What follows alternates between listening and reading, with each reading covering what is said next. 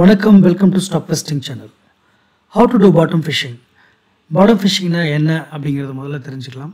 அதை bank of India stock வச்சு இன்றைக்கி நம்ம பார்க்க போகிறோம் பாட்டம் ஃபிஷிங்னா வேறு ஒன்றும் இல்லைங்க. ஒரு ஸ்டாக் வந்து ரொம்ப அடிமாட்டு விலைக்கு கிடைக்கும் பொழுது நிறைய ரீசன் இருக்கலாம். அதனோட வீழ்ச்சி அடைஞ்சிருக்கலாம்.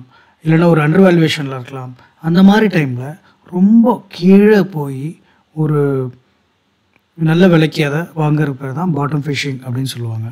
ஸோ அதை வந்து அந்த மாதிரி ஒரு ஆப்பர்ச்சுனிட்டி எல்லா ஸ்டாக்குக்கும் வந்தால் நல்லாயிருக்கும் அந்த மாதிரியான ஒரு ஆப்பர்ச்சுனிட்டி தான் பேங்க் ஆஃப் இந்தியாவில் வந்திருக்கு. அதை வந்து நம்ம போய் இன்றைக்கி அலசி ஆராய்ஞ்சு பார்த்துடலாம் வாங்க. பேங்க் ஆஃப் இந்தியாவுடைய பேசிக்ஸ் கொஞ்சம் பார்த்துடலாம் இதனோட மார்க்கெட் கேபிட்டலைசேஷன் வந்து ஐம்பத்தஞ்சாயிரம் கோடி. புக் வேல்யூ வந்து நூற்றி ஐம்பத்தஞ்சு ரூபா. ஆனால் கரண்ட் மார்க்கெட் ப்ரைஸ் நூற்றி இருபத்தி ரெண்டு ரூபா as on eleventh July so market value வந்து புக் வேல்யூவோட கம்மியாக இருக்குது ஸோ இது ஒரு ரீசன் பாட்டம் ஃபிஷிங் அண்டர் வேல்யூவேஷனில் இருக்குது இது right time to go and do the bottom fishing அதுக்கப்புறம் இவங்களுடைய ப்ராஃபிட் அண்ட் லாஸ் ஸ்டேட்மெண்ட்டை இந்த வருஷம் பார்த்தீங்கன்னா டுவெண்ட்டி த்ரீ டுவெண்ட்டி ஃபோர் பார்த்தீங்கன்னா எப்படி இருக்குது நெட் ப்ராஃபிட் பார்த்தீங்கன்னா எக்ரி இருக்குது த்ரீ தௌசண்ட் எயிட் ஹண்ட்ரட் போன வருஷம் டுவெண்ட்டி த்ரீயில் புக் பண்ணுது. இந்த வருஷம் six thousand five hundred crores வந்து புக் பண்ணியிருக்காங்க அதனால் அவங்களோட ஏர்னிங் பர் ஷேர் போன வருஷம் ஒம்பது ரூபா இருந்தது. இந்த வருஷம் பதினாலு ரூபா. It's a very good boost நம்ம ஷேர் ஹோல்டர்ஸ்க்கு டிவிடெண்ட் பே அவுட்டும் பார்த்தீங்கன்னா கம்மி பண்ணியிருக்காங்க. இவன் தான் ப்ராஃபிட் நிறையா பண்ணியிருந்தாலும் டிவிடன் வந்து கம்மியாக தான் கொடுத்துருக்காங்க. ஏன்னு தெரியல. கொஞ்சம் பார்க்கணும். மற்றபடி பார்த்தீங்கன்னா அவங்களுடைய காம்பவுண்டட் ப்ராஃபிட் க்ரோத் பார்த்தீங்கன்னா கடந்த மூணு வருஷமாக நாற்பத்தெட்டு பர்சன்ட் வளர்ந்துருக்கு. அஞ்சு வருஷமாக இருபத்தாறு பர்சன்ட் வளர்ந்துருக்கு. இது ஒரு நல்ல விஷயந்தான் சிஏஜிஆர் ஸ்டாக் சிஏஜிஆர் வந்து seventeen percent per annum seventeen percent is very good return இது ஒரு நல்ல விஷயந்தான் ரிட்டர்ன் ஆன் equity வந்து ஏறி இருக்குது ஆக்சுவலாக இது நம்ம பார்க்கணும். இதுக்கப்புறம் பார்த்தீங்கன்னா இவங்களுடைய முக்கியமாக ஷேர் ஹோல்டிங் பேட்டர்ன் பார்க்கணும். ப்ரொமோட்டர் ஹோல்டிங் ப்ரொமோட்டர் பொதுவாக யாருன்னா government of India president of India தான் promoter holding government of India வந்து எயிட்டி த்ரீ பர்சன்ட் கிட்ட இருந்துச்சு அவங்களுக்கு. சாரி எயிட்டி ஒன்னா eighty one I think March twenty three எடுத்துப்போம். March twenty four எடுத்துருப்போம். Year on year eighty one point four percent இருந்தது. Seventy three percent கம்மியாக இருக்குது அதாவது டீ இன்வெஸ்ட்மெண்ட் பண்ணுறாங்களான்னு தெரியல கவர்மெண்ட்டில் கொஞ்சம் கொஞ்சமாக இந்த ஸ்டாக்ஸ்லாம் விற்கிறாங்களான்னு தெரியல. பட் இவங்க கொடுத்தது எஃப்ஐஎஸ் வந்து நல்லா டபுள் ஆக்கியிருக்காங்க. அவங்கள்ட்ட ரெண்டே கால் பர்சன்ட் இருந்தது. இப்போ நாலு நாலரை பர்சன்ட் இருக்குது கிட்டத்தட்ட டபுள் ஆக்கியிருக்காங்க. டிஐஎஸும் வந்து அவங்களுடைய டென் பர்சன்ட்லேருந்து ஃபிஃப்டீன் பர்சன்ட் ஃபிஃப்டி பர்சன்ட் வந்து இன்க்ரீஸ் பண்ணியிருக்காங்க. பப்ளிக் வந்து கொஞ்சம் ஆக்சுவலி பப்ளிக் வந்து அஞ்சரை பர்சன்ட்லேருந்து ஆறே கால் பர்சன்ட் ஒரு ஒரு நல்ல டீசெண்டான ஒரு ஒரு முக்கால் பர்சன்ட் ஏற்றிருக்காங்க ஸோ இவங்க விற்றது எஃப்ஐஎஸ் தான் நிறைய வாங்கியிருக்காங்க டிஐஸும் வாங்கியிருக்காங்க நம்மளும் வாங்கியிருக்கோம். ஸோ இங்கே டிஸ்ட்ரிபியூட் ஆகிருக்கு இதுதான் இவங்களுடைய ப்ரொமோட்டர் ஹோல்டிங்கில் நம்ம பார்க்க வேண்டிய விஷயம். பேங்கிங் ஸ்டாக் வந்து பொதுவாக உங்களுக்கு ஏற்கனவே ஒரு வீடியோவில் சொல்லியிருப்பேன். மற்ற ஸ்டாக் மாதிரி நம்ம அதை பார்க்க முடியாது சில ரேஷியோஸ்லாம் இதுக்கு வந்து வேறு மாதிரியான விஷயங்கள் தான் நம்ம பார்க்கணும். இதில் இன்னொன்று பாருங்கள் ரிட்டர்ன் ஆன் எக்விட்டி கூட ஏறி இருக்குது ஆறு பர்சன்ட்லேருந்து பத்து பர்சன்ட் ஏறி இருக்குது கிட்டத்தட்ட ஃபார்ட்டி பர்சன்ட் ஏறி இருக்குது ஸோ இது வந்து ஒரு பேசிக்கான விஷயம். இவங்களோட ரிசல்ட்டுடைய ஹைலைட்டை வந்து இப்போ நம்ம கண்டிப்பாக பார்க்கலாம். Financial year twenty four year on year performance வந்து அவங்களோட ரிசல்ட்ஸில் போய் நான் எடுத்து இதை போட்டிருக்கேன். எல்லா பேராமீட்டர்லையுமே அவங்க பச்சையில் தான் இருக்காங்க. I mean very good global business ஏறி இருக்குது eleven percent deposits ten percent ஏறி இருக்குது அட்வான்சஸ் லோன்ஸ் தேர்ட்டின் பர்சன்ட் ஏறி இருக்குது ஸோ ரீட்டைல் அட்வான்சஸ் அக்ரிகல்ச்சர் கொடுத்தது MSME CASA CASA seven percent ஏறி இருக்குது வெரி குட் இந்த என்பிஏ இது ரெண்டையும் பாருங்கள் என்பிஏ பார்த்தீங்கன்னா இந்த நெட் என்பிஏ ரொம்ப முக்கியம். இது வந்து டிக்ரீஸ் ஆகிருக்கு I mean like number decrease ஆனால் நமக்கு நல்லது. ஓகே ஸோ நெட் என்பிஏ குறைஞ்சிருக்கிறதுனால இது பாசிட்டிவ் சைன் இந்த பிபிஎஸ்ன்ற பற்றி நீங்கள் ஒரி பண்ணாதீங்க. பிபிஎஸ்னால் அவங்க வந்து பேசிஸ் பாயிண்ட்ஸ்னு ஒரு கணக்கு வச்சுருப்பாங்க. ஒன் பை ஹண்ட்ரட் ஹண்ட்ரட் அப்படின்னா அதுக்குள்ளே நம்ம போக வேணாம். நமக்கு இங்கே பச்சையாக சிகப்பான்றது தான் முக்கியம். Comparing to last year year on year வந்து குறைஞ்சிக்கிட்டே இருக்குது என்பிஏ என்பிஏனா நான் பர்ஃபார்மிங் அசட் உள்ள வாராக்கடன் இந்த மாதிரி விஷயங்கள்லாம் இருக்கு இல்லைங்களா? இதெல்லாம் வந்து கம்மியாக இருக்கணும் ஒரு பேங்க்குக்கு நிறைய வாராக்கடன் தான் நமக்கு நல்லதில்லை அது வந்து வருஷம் வருஷம் வந்து எல்லா பேங்க்கோட டார்கெட்டும் வந்து முடிஞ்ச அளவுக்கு ரெக்கவர் பண்ணுறது தான் அட்வான்சஸ் ரெக்கவர் பண்ணுறது தான் அவங்களோட முழு தொழிலாக இருக்கும் கலெக்ஷன் அது எவ்வளோக்கு எவ்வளோ கொடுத்த கடன் உள்ளே வந்தால் தான் அவங்களுக்கு லாபம். கொடுத்த கடன் அப்படியே போயிடுச்சுன்னா ஏமாத்திரி போயிட்டாங்கன்னா கஷ்டம் இல்லையா? அதனால் நான் பர்ஃபார்மிங் அசட்ஸ் வந்து கம்மியாகிட்டே இருக்கணும் அவங்களுக்கு. எந்த விதத்தில் வந்து நான் பர்ஃபார்மிங் அசட் இங்கே பாருங்கள் ப்ளூ ஆரஞ்சில் இருக்குது ஆரஞ்சுனா கம்மியாக இருக்குன்னு அர்த்தம். இது கம்மியாச்சுன்னா க்ரீன் நல்ல விஷயம். இது ஜாஸ்தியாச்சுன்னா நல்ல விஷயம் இல்லை ரெட்டாக மாறிடும். ஸோ என்பிஏ வந்து கம்மியாக இருக்குது ஸோ அதுவும் நல்ல விஷயந்தான் நெட் ப்ராஃபிட் வந்து ஏறி இருக்குது நம்ம முன்னாடி பார்த்த மாதிரி net profit almost double fifty percent வந்து ஆயிருக்கு. இதுதான் இப்போ நான் பேங்கிங்கில் சொன்ன மாதிரி சில விஷயங்கள் முக்கியமாக பார்க்கணும். என்பிஏ பார்க்கணும் அவங்க காசா ரேஷியோ பார்க்கணும். அவங்க கேபிட்டல் அடிக்யூசி ரேஷியோ சிஆர் அதாவது சிஆர் சொல்லலாம் இல்லை சிஆர்ஏஆர்னு சொல்லுவாங்க. அதாவது credit credit to risk assess asset ratio அப்படின்னு சொல்லுவாங்க. ரிஸ்க் வெயிட்டட் அசட் ரேஷியோ அப்படின்னு சொல்லுவாங்க. ஸோ இது ரொம்ப முக்கியம். இதுவுமே வந்து உங்களுக்கு பாசிட்டிவாக இருக்குது ஸோ எல்லாமே மொத்தம் பேங்க் ஆஃப் இந்தியா வந்து இந்த வருஷம் ரிசல்ட் வந்து எல்லா எல்லா பேராமீட்டர்லேயும் க்ரீனில் இருக்குது இது ஒரு நல்ல விஷயம். ஒரு பேங்க் ஸ்டாக் எப்படி அனலைஸ் பண்ணணும் அப்படின்னு ஒரு டீட்டெயில் வீடியோ நான் அப்புறமா போடுறேன். இது நான் அப்பப்போ பேங்க் பற்றி பேசும்போதில் நான் சொல்லிட்டு தான் இருக்கேன். என்னென்ன பேராமீட்டர்ஸ் பார்க்கணுன்னு சொல்லிட்டு. ஸோ கேபிட்டல் அடிக்கசி ரேஷியோவும் நல்லாயிருக்கு கேபிட்டல் அடிக்கசி ரேஷியோனா என்ன அப்படின்னு சொல்லிட்டு ஒரு தனி வீடியோ போடலான்னு இருக்கேன். அப்போ உங்களுக்கு தெரியும். இதுக்குள்ளே நிறையா இருக்குங்க. டியர் ஒன் டியர் டூ அந்த மாதிரி நிறையா இருக்குது அதை இப்போ பேசலாம். ஸோ நம்ம இப்போ நம்ம எடுத்துக்க வேண்டியது என்னென்னா பேங்க் ஆஃப் இந்தியா பாசிட்டிவ் சரி இப்போ நம்ம மெயின் கண்டென்ட் வரும். சார்ட் சார்ட்டில் எப்படி இருக்குது பேங்க் ஆஃப் இந்தியா எதனால் பாட்டம் ஃபிஷிங் அப்படின்னு பண்ணுறது இப்போ பார்க்கலாம். இப்போ பார்த்தீங்கன்னா இதனுடைய ரெசிஸ்டன்ஸ் வந்து நூற்றி எண்பத்தி ஆறு. ஃபெப்ரவரி இருபத்தி நாலு ஒரு வாட்டி போனது திரும்ப வந்து ஏப்ரல் இருபத்தி நாலில் போயிருக்கு. இப்போ மார்ச் தேர்ட்டி ஃபஸ்ட் எங்கே இருக்குன்னு தேடுவோம். மார்ச் தேர்ட்டி ஃபஸ்ட் வந்து இங்கே இருக்குது ஸோ மார்ச் குவார்டர்லி ரிசல்ட் வந்து வந்த பிறகு மார்ச் தேர்ட்டி ஃபஸ்ட் இயர் எண்டிங்க இயர் எண்டில் பார்த்தீங்கன்னா மார்ச் வந்து கொஞ்சம் அடி வாங்கியிருக்கு இந்த இடத்துல பார்த்தீங்கன்னா அவங்களுடைய குவார்டர்லி ரிசல்ட் வந்தப்போ கொஞ்சம் இறங்கியிருக்கும். ஆக மொத்தம் அவங்க ரிசல்ட் நல்லா இருந்ததுனால மேலே வரைக்கும் போயிருக்காங்க. அவங்களுடைய உச்சம் ஒன் ஃபிஃப்டி சிக்ஸ் இந்த ரேஞ்சில் இருந்திருக்காங்க.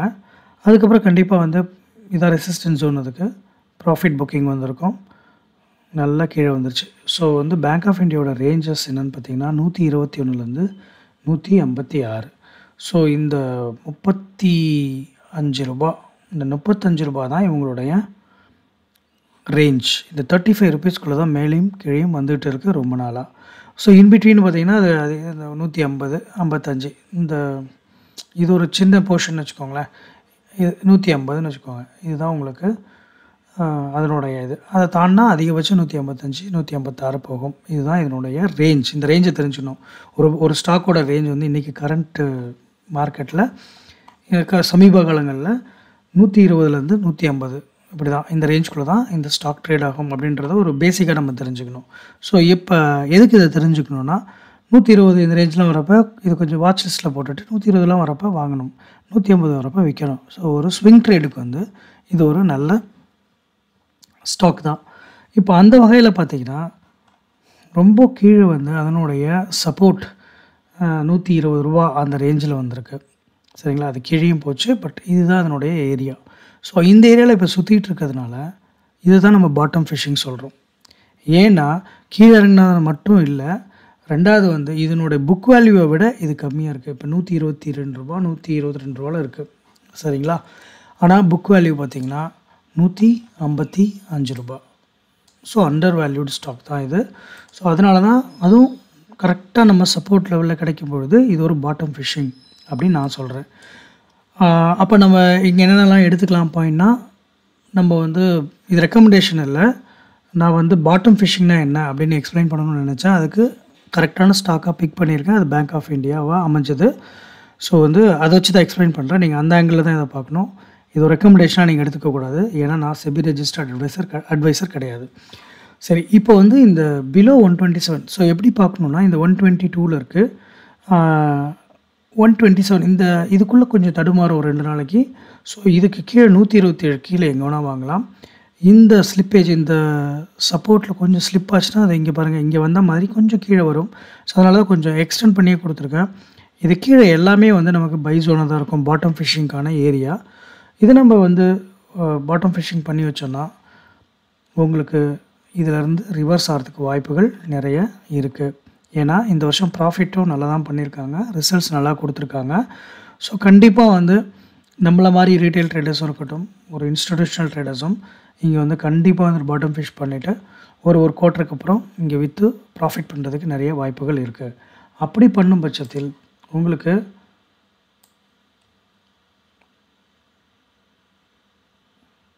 கிட்டத்தட்ட ஒரு தேர்ட்டி பர்சன்ட் உங்களுக்கு ப்ராஃபிட் ஆப்பர்ச்சுனிட்டி இருக்குது அதை நம்ம தெரிஞ்சுக்கணும். ஸோ நம்ம கொடுக்குற டார்கெட் என்னென்னா ஃபர்ஸ்ட் டார்கெட் வந்து நூற்றி முப்பத்தி மூணு ரெண்டாவது டார்கெட் நூற்றி முப்பத்தி எட்டு நூற்றி நாற்பத்தெட்டு நூற்றி ஐம்பத்தாறு. இந்த நாலு டார்கெட் தான் உங்களுக்கு அதாவது ரேஞ்சஸ் இந்த இந்த இடத்துலலாம் கொஞ்சம் மார்க்கெட் தடுமாறுன்னு அர்த்தம். இந்த இடத்துல திரும்பி ரிட்டர்ன் வரலாம் இங்கே ஒரு ரிட்டர்ன் வரலாம் இங்கே ரிவர்ஸ் ஆகலாம் இல்லைனா ஃபுல்லாக வரைக்கும் போகலாம். ஸோ இந்த நான் லைன் கொடுக்குறேன் டார்கெட் கொடுக்குறேன்னா இந்த டார்கெட்டை தாண்டியும் போகும். இல்லை இந்த டார்கெட்லேருந்து கீழே வரும் அது உங்களுடைய இஷ்டம். இப்போ ஃபார் எக்ஸாம்பிள் நான் இந்த இடம் வந்தோடனே போதும் அப்படின்னு நான் வெளியில் வரேன் அப்படின்னா நம்ம இஷ்டம் தான் இங்கே பாருங்கள் இது வந்து ஒரு ஃபஸ்ட்டு டென் பர்சன்ட் ஆப்பர்ச்சுனிட்டி ஈஸியாக கிடைக்கும். திரும்பி அதில் திரும்பி ரிவர்ஸ் ஆகிட்டு திரும்பி கொஞ்சம் மேலே போகும். அப்படி திரும்பி கீழே வரலாம். ஸோ இதெல்லாம் வந்து ஒரு நீங்கள் நோட் பண்ண வேண்டிய ரேஞ்ச் இங்கே டென் பர்சன்ட் அதுக்கப்புறம் வந்து ஒரு ஃபிஃப்டீன் பர்சன்ட்டில் உங்களுக்கு வாய்ப்பு இருக்குது அதுக்கப்புறம் டுவெண்ட்டி த்ரீ தேர்ட்டி ஸோ அதிகபட்சம் முப்பது குறைஞ்சது பத்து. ஸோ பத்துலேருந்து முப்பது பர்சன்ட்டுக்குள்ளே இந்த ஸ்டாக்கில் ஈஸியாக ப்ராஃபிட் பண்ணலாம். இதை தான் பாட்டம் ஃபிஷ்ஷுன்னு சொல்கிறோம் இதை லாங்கர் டேர்முக்கு நம்ம திங்க் பண்ணலாம். ஒரு பெரிய இன்வெஸ்டர்ஸ் பார்த்திங்கன்னா லாங்கர் டேர்ம் திங்க் பண்ணுவாங்க.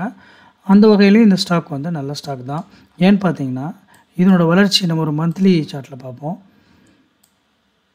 இங்கே பாருங்கள் ஒரு காலத்தில் மேலே இந்த ஸ்டாக் இப்போ கீழே இருந்து இந்த டுவெண்ட்டி ஜூன் அதாவது இந்த கொரோனா அந்த பீரியட்லேருந்து நல்லா வளர்ந்து தான் மேலே வந்திருக்கு. இன்னும் இதுக்கான வளர்ச்சிக்கான வாய்ப்புகள் இருக்குது இவங்க ப்ராஃபிட் பண்ணிகிட்ருக்காங்க இன்னும் அவங்களுடைய இன்வெஸ்டர் ரிலேஷன்ஷிப் இதிலெல்லாம் போய் பார்த்தீங்கன்னா நிறைய விஷயம் நமக்கு வந்து ஒரு ஐ ஓப்பனர் என்னென்னா அவங்களுடைய டிஜிட்டல் ப்ரெசன்ஸ் வந்து ஜாஸ்தி ஆகிட்டே இருக்குது அவங்க கஸ்டமர்ஸ் கிட்ட. ஒரு எக்ஸாம்பிள் சொல்லணும்னா அவங்களோட mobile usage mobile banking usage பார்த்தீங்கன்னா எயிட்டி ஒன் லேக்ஸ்லேருந்து கிட்டத்தட்ட eighty nine lakhs eighty eighty three to eighty nine something it is a ten percent increase இருக்குது ஸோ வருஷ வருஷம் பார்த்திங்கன்னா மொபைல் டிஜிட்டல் பேங்கிங் வந்து கவர்மெண்ட் பேங்காக இருந்தாலும் அதோட யூசேஜ் வந்து மக்கள் மத்தியில் நிறைய ப்ராப்ளம் ஸோ அவங்களும் மூவ் ஆகிட்டுருக்காங்கன்னு அர்த்தம். காலப்போக்கில் அவங்களும் வந்து ஒரு நல்ல டிஜிட்டல் பேங்கிங்கில் கால் பதிப்பாங்க.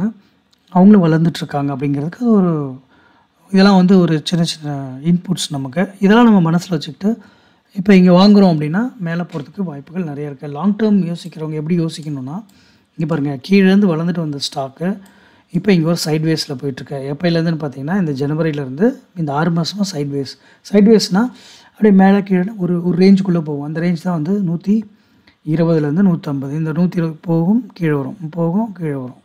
இப்போ திரும்பி போகுன்ற நம்பிக்கையில் ஒரு ஷார்ட் டேர்ம்க்கு நம்ம எடுக்கிறோம். பட் லாங் டேர்முக்கு இங்கே நீங்கள் அக்யூமுலேட் எப்பப்பெல்லாம் இந்த இந்த கீழே வருதோ நூற்றி இருபதில் வாங்கி வாங்கி வச்சுக்கிட்டே இருக்கலாம்.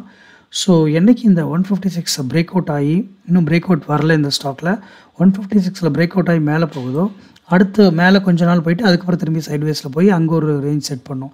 இப்படி தான் படிப்படியாக தான் ஒரு ஸ்டாக் வந்து மேலே ஏறும். ஸோ அந்த வகையில் இது வந்து சப்போர்ட் கிட்டே இருக்குது ஒரு under under valued stock book வேல்யூவோட கம்மியாகவே ட்ரேட் ஆகிட்டுருக்கு ஸோ நமக்கு இது வந்து ஒரு பாட்டம் ஃபிஷிங் இதை நம்ம வந்து வாட்ச் லிஸ்ட்டில் போட்டுட்டு கன்சிடர் பண்ண வேண்டிய stock for swing trading for long term ட்ரேடருக்கும் இது ஒரு நல்ல ஸ்டாக் தான்.